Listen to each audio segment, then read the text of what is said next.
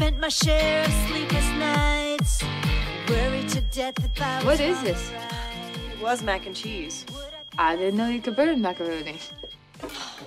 Apparently, if you let it cook for two hours.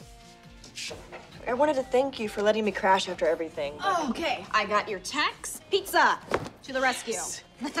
it uh cost me my last $18, but I have already paid Noel for the week. Man, that feels good to say. Oh, you guys, I finally have a day off. So, what are the weekend plans? Definitely not having a romantic weekend eating scones in a paddle boat at the Cherry Blossom Festival. That was weirdly specific. I may have checked Mingo's Instagram a few times. He's visiting his girlfriend in DC. I've got to find a way to stop thinking about him. Let's go out. Hmm? I'm a terrible cook, but I'm a great wing woman. We'll snag you a guy by midnight. Nice of you to offer, but I'm not really looking to start a new relationship right now. Who said anything about a relationship? I'm talking about a wham bam. Thank you, sir.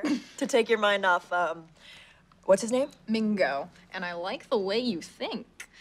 Uh, maybe you need a non-starter for the weekend just to cure you of your Mingo-itis.